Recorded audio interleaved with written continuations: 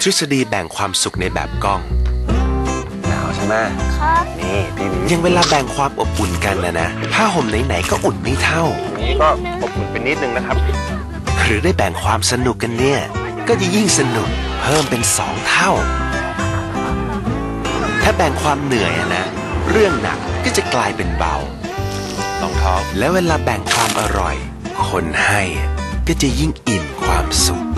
โดโซ แบ่งกันอร่อยได้ทุกคน